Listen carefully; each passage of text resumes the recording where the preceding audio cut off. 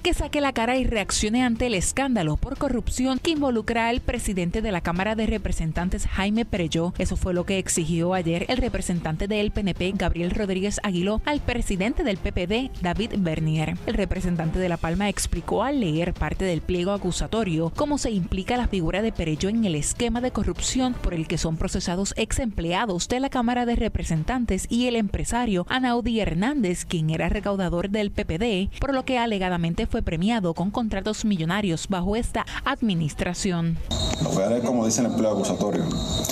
Mariconzón, hay que bajarle 100 mil dólares a los equipos. La propuesta más cercana era de 154 mil dólares. Verifica. Ese mismo día, el 23 de junio del 2013, aparece una cuarta propuesta por 153 mil 900 dólares, de forma tal que se aseguraran que fuese la más barata. De hecho, Rodríguez Aguiló fue más allá y cuestionó si existen otras figuras dentro de la campaña de Bernier que también están implicados en este esquema o relacionados con Ana Noti1 intentó obtener una reacción por parte de Bernier, sin embargo su oficial de prensa indicó que el líder popular no estaría reaccionando a la situación.